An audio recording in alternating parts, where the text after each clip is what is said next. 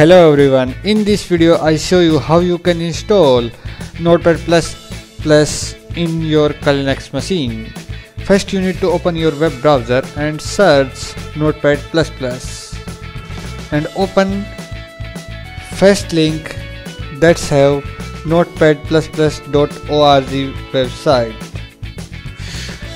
After then click on downloads and download latest version and you need to install Wine to install Notepad++.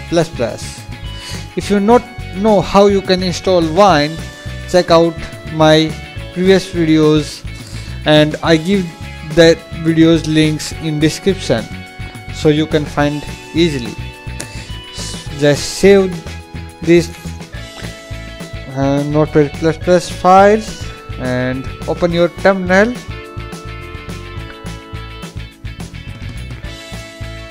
After opening terminal, you need to change your directory to downloads. So just open terminal and type cd downloads.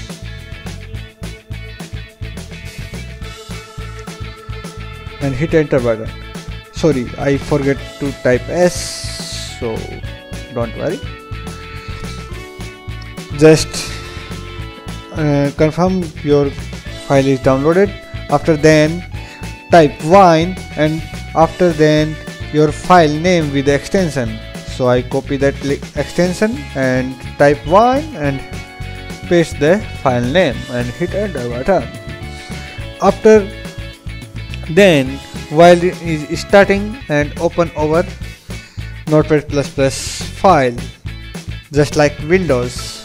So we can easily install the, that file easily just like windows just like next next next next next. Now click on ok and click on next. I agree next next. And i create a desktop shortcut and click on install. Now notepad++ plus is installed and i click on finish and my notepad++ is started so you can easily change styles and write your codes.